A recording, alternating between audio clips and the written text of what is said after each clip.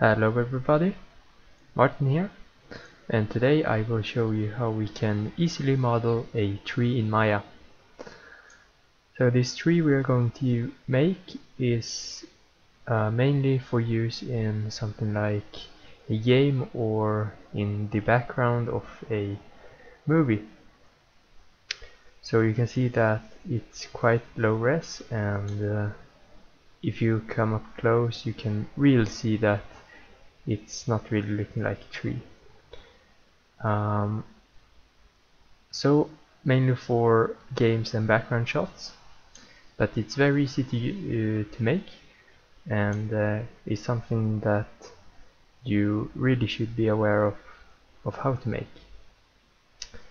So this is the finished product. Um, the one we are going to make may uh, look a little bit different, but this is the basic the basic thing that we are going for. So let me hide this and let's get started. So I'm going to start with by creating a polygon cylinder. And it's quite high res right now so we can take the subdivisions down to something like 8 and let's bump the height up. Um, something like 60 looks good. And let's add a few subdivisions on the height. Um, 5 looks good. And now we can take the vertices and move them around a bit. So we get some breakups in a tree which will make it look more natural.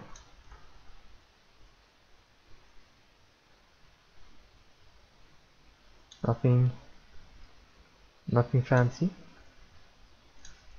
Okay so we have our basic stem right here. Um, what we're going to do now is to make it a little bit thinner at the top um, because that's how trees look in the real world. So let's select our stem right here go up to our animation menu and create a deformer and a lattice.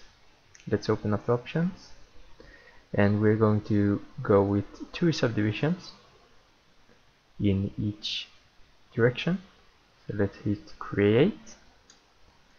And right click go to lattice point select the top ones and scale them down a bit. That looks good. And now we can take our stem right here and go to edit delete by type history. Okay so we have our stem ready here. So we can add a texture to this um, by going to assign new material. Take a Lambert and in our color node we select a file. And I have a bark texture right here. Uh, I got I got all my textures from uh, cgtextures.com very nice web website with a lot of textures. So visit that if you are interested. Let's select this bark one and click open. And now you can see that the texture is very uh, very stretched out in one way. So to fix this let's go to our uh, connection here. Let's go to the place to the texture.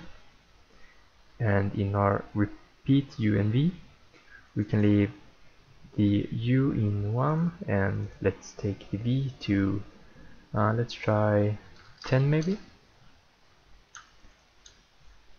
That looks a lot better. Okay so it looks very very sharp the corners here. So to fix this select our stem go back to our polygons menu set and soften our normals. Looks good.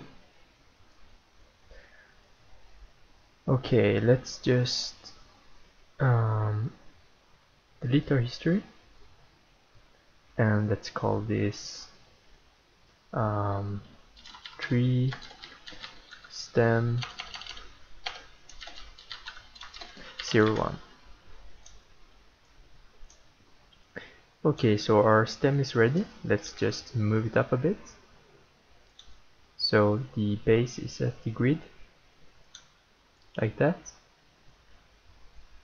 Okay so now we are going to do some branches that sticks out of the tree. Um, so a very simple way to do this is just by selecting our stem and duplicate it by hitting Ctrl D. And now we can see that we have a branch. We can scale this down. And here's a neat little trick we can do. If we move our pivot by holding down the D key and the V key to snap it to a vert vertex at the bottom like that.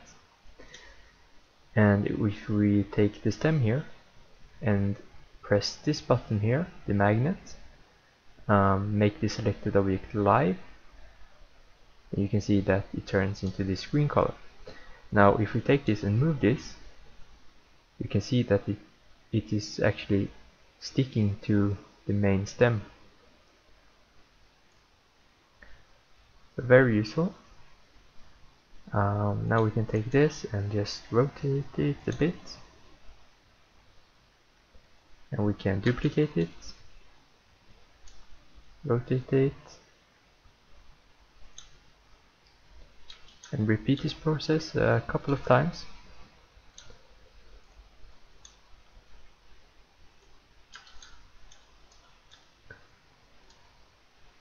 And we can take a couple of them and scale them down. So we get some uh, variation.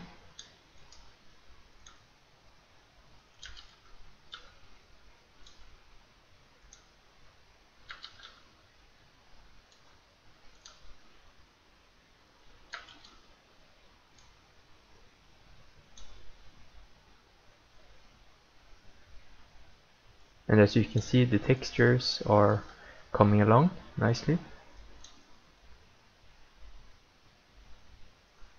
Uh, let's take one more. Right here. Okay, so that looks very good. Um, now what we can do is press the magnet once again. And now we can select all the branches and the stem. And just go to mesh combine and we get one single piece of geometry. Um, now when now when we have our stem and we have our branches it's time to create the leaves so to do this we will need a polygon plane like that and we need to add a leaf texture to this. So let's assign a new material and let's go with Lambert in the color node and select our leaf texture. Uh, I got this from CG textures as well. Okay very nice um, so what we can do now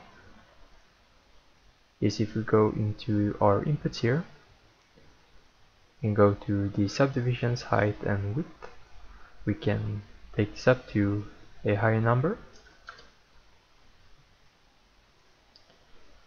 And what we can do now is that we can create some variation in the leaves by moving some vertices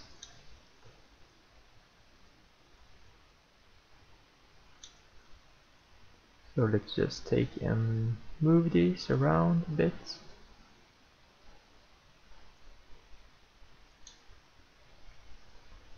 Okay. Very nice. Now let's take our pivot and move it. So that we can snap it to the vertex here and then we can move it to our branch base here. Let's actually move down a bit. Like that. And let me just name it. Tree leaves. Zero one. And maybe scale it down a bit. So now if we take our tree base here and make it live once again and take our leaf texture. We can place it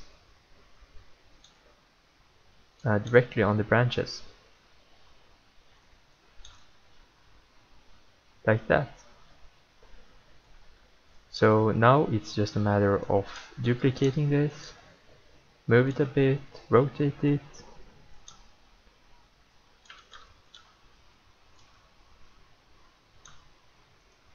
like that. Create some variation.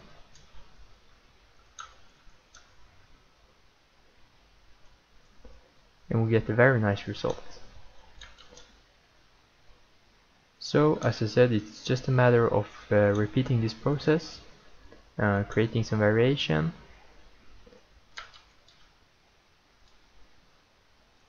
So I will do the rest of the tree uh, off camera but it's just a matter of duplicating move it around rotate it creating some variation and you will be fine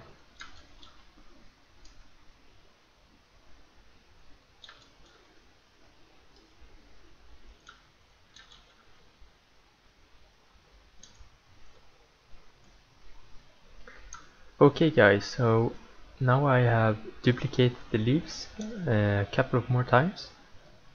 Of course you can do this as dense as you want and you can also add some variation amongst the leaves by um, by moving a couple of more vertices, duplicating those leaves a couple of times and uh, maybe scale some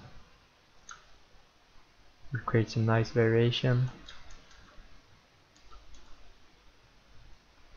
So yeah. Now we have a good looking tree ready to use in our game or our uh, film.